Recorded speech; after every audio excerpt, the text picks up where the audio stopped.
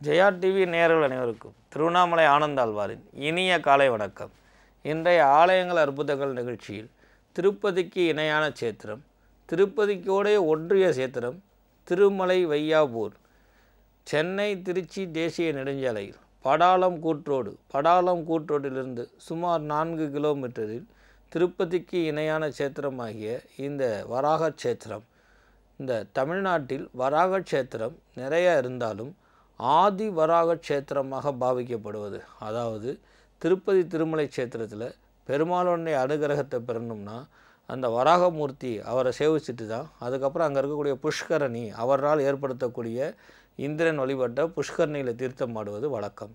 ஆனால் அந்த வராகருக்கும் ஆதி வராகராக இருக்கக்கூடியது தான் இந்த திருமலை வையாபூர் வையா அப்படின்னா உலகம்னு அர்த்தம். பூமியில் பிறந்த பொருளுக்கு அனைத்துக்கும் வையான்னு அர்த்தம். அதனால தான் வைக்கல் போர் அப்படின்னு சொல்லுவாங்க அது. இந்த ஆதி வராக சேத்திரமாகப்பட்ட இந்த சேத்திரம் திட்ட திட்ட சுயம்பாக தோன்றியதற்கு சமம்.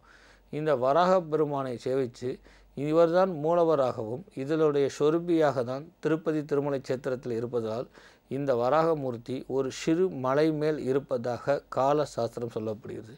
சேல சோழ பாண்டியர்கள் அல்லது குடவரை கோயில்கள் கட்ட பல்லவர்களால் ஏற்பட்ட கோயிலை மட்டுமே நாம் அதிகமாக பார்க்க முடியும். ஆனால் விஜய நகர பேரரசால் இந்த வராக சேத்திரத்தினுடைய அனுபலன்களை பெற்று பல வெற்றிகளை குமிச்சனாலையும் வெற்றிக்குடைய இன்னொரு பெயர் வையம் அப்படிங்கிறனாலையும் வையம் என்றால் உலகம் வையகத்தை வெல்வதனால் வைகாபுரி அப்படிங்கிறனாலையும் திருமலை வையாபுரி அப்படின்னு இந்த சேத்திரத்தினுடைய பேர்.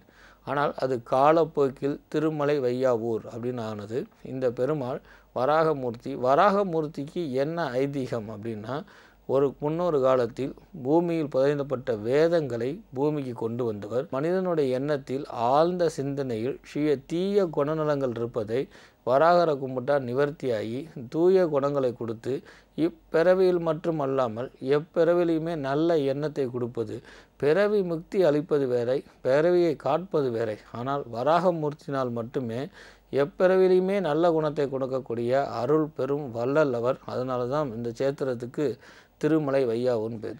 இந்த மலை சேத்திரத்தில் வராகரை சேவிப்பதற்கு கூட சிரமம் இல்லாமல் இருக்கணும் அப்படின்னா இந்த படியெலாம் பார்த்திங்கன்னா ரொம்ப நமக்கு ஏறுவதற்கு சமமாக மிக எளிமையாக பாவிக்கப்படும்.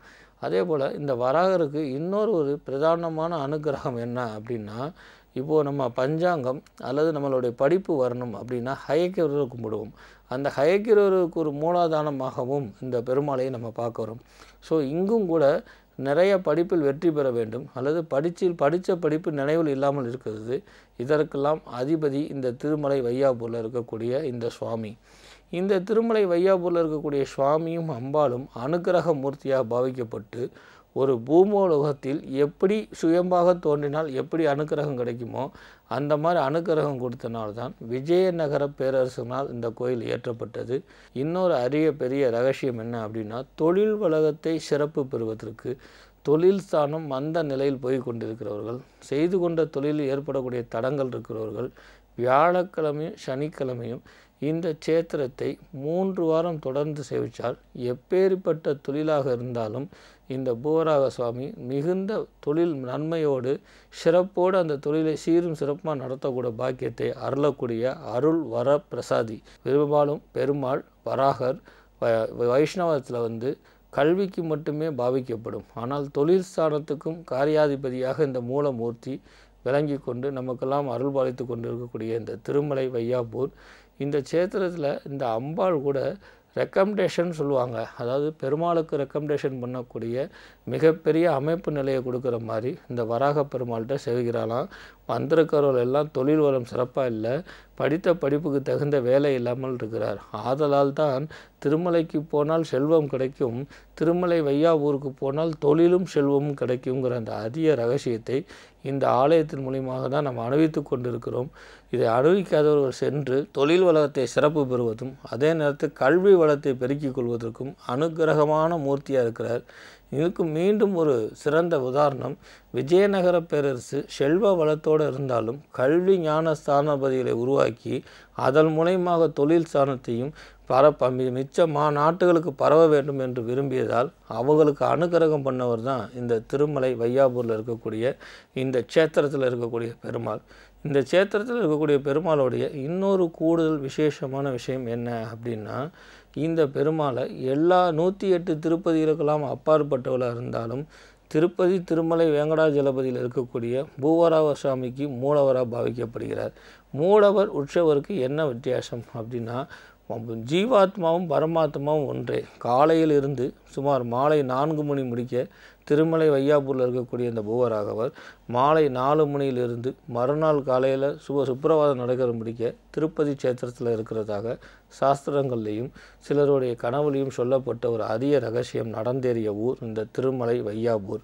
இந்த திருமலை வையாபூர் சேத்திரம் நிறைய பேர்த்துக்கு நமக்கு தெரியாததற்கு காரணம் பெருமாளை தேடி தான் நாம் செல்லணும் பெருமாளுடைய அனுக்கிரகத்தை பெறணும் கல்வி தொழிலுக்காக உழைக்கிற மாதிரி ஆன்மீகத்துக்காகவும் அதே நேரத்தில் நம்ம ஆன்மா திருப்தி அடைவதற்காகவும் அதனால் தொழில் வளத்தை சிறப்பு பெறுவதற்காகவும் கல்வி ஸ்தானத்தை கூட்டுவதற்காகவும் கல்வி சார்ந்த அறிவு கல்வி சார்ந்த தொழிலில் மிகப்பெரிய பாக்கத்தை பெறக்கூடிய அமைப்புகளை கொடுக்கக்கூடிய ஸ்தலம் தான் இந்த திருமலை வையாபூர். இந்த சேத்திரத்துக்கு பலாரம் கூட்டோட்டிலிருந்து நிறைய பேருந்துகள் வசதிகள் மினி ஆட்டோ வசதிகள் இருக்குது. போ கோயில் வாசல் முடுக்கியே வாகன போக்குவரத்து கொண்ட அமைப்பு இருக்குது. சுமார் காலை ஆறு மணியிலிருந்து பதினொன்றரை மணி முடிக்க கோயில் திறந்திருக்கக்கூடிய இந்த காலகட்டம். மாலை நான்கு மணியிலிருந்து சுமார் நான்கு டு நாலரையிலிருந்து ஏழு மணி முடிக்க இந்த சேத்திரம் திறந்திருக்கும். இந்த சேத்திரத்தில் இன்னொரு கூடுதல் சிறப்பாக எங்கெல்லாம் வராகர் இருக்கிறாரோ அவர்லாம் நரசிம்மருக்கு ஈடானவர் அப்படின்னு ஒரு சாஸ்திரம் இருக்குது. அந்த மாதிரி இந்த சுவாதி நட்சத்திரம் பிரதோஷம் இந்த நாளில் சேவிக்கும் பொழுது நம் மனக்குறைகளெல்லாம் நீக்கி எண்ணங்களில் சுபிட்சத்தை கொடுத்து ஆதலால் முன்னேற்றமும் மகிழ்ச்சியும் கொடுக்கக்கூடியவர். திரு என்றால் லட்சுமியை குறிக்கும் நம் நிகழ்ச்சியில் பல தடவை வலியுறுத்தப்பட்டாலும் திருப்பதிக்கு இணையான சேத்திரம். ஏனால் பெரும்பாலான சேத்திரத்தில் பெருமாளுக்கு அண்ணனாகவும் பெருமாளுடைய சகோதரனாகவும் தான் பாவிக்கப்பட்டிருக்குது.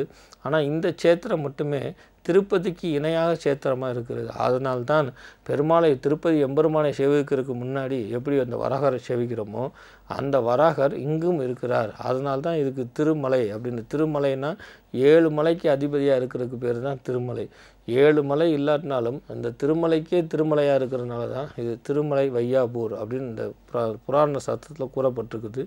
இந்த சேத்திரத்துக்கு படியேறி செல்வதால் உடலில் ஏற்படக்கூடிய நோய் நொடிகளை நிவர்த்தி பண்ணுவதும் புரட்டாசி மாதம் மிக சிறப்பாக நடத்துவதும் இதற்கெல்லாம் அப்பாற்பட்டது சுவாதி நட்சத்திரம் பிரதோஷம் சனிக்கிழமை புதன்கிழமை புதன் தொழில் கல்விக்கெல்லாம் அதிபதி.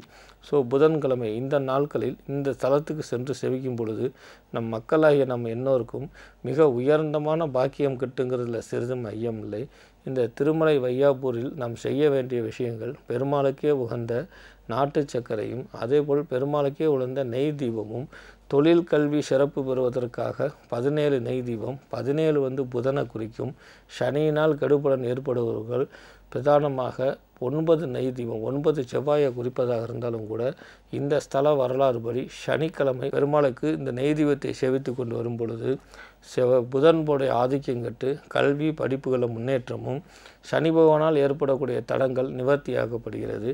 மேலும் இந்த புதன் இரத்த நாளங்களுக்கெல்லாம் அதிபதியாக இருப்பதனால் இரத்த நாளங்களில் அதாவது நரம்புகளில் டிஃபிகல்ட்டு நரம்புகளில் குறைபாடு இருக்கிறவங்களும் இங்கு சென்று இந்த பெருமாளை சேவித்து வரும் பொழுது இந்த புதன் எப்படி கல்விக்கெல்லாம் அதிபதியாக இந்த பூவராக இருக்கிறாரோ இந்த பூவராகவர் நம் உடலில் இருக்கக்கூடிய விஷத்தை நீக்கி நம் உடலில் இருக்கக்கூடிய நோயை நீக்கி நம் உடலுக்கு புத்துணர்ச்சியாக கொடுக்கக்கூடிய ஒரு அமைப்பை ஏற்படுத்தக்கூடிய அதி அற்புதமான க்ஷேத்திரம் இந்த திருமலை வையாபூர் திருமலை வையாபூர் பெருமாளை வணங்கி தங்களையும் பிரார்த்தனை பண்ணி சொல்லி பிரார்த்தனை பண்ணி உங்களிடமிருந்து விடைபெறுவது திருவண்ணாமலை வாசி திருப்பூணம் கோரக்கநாத அடிமை டி ஆனந்தாழ்வார். வணக்கம்.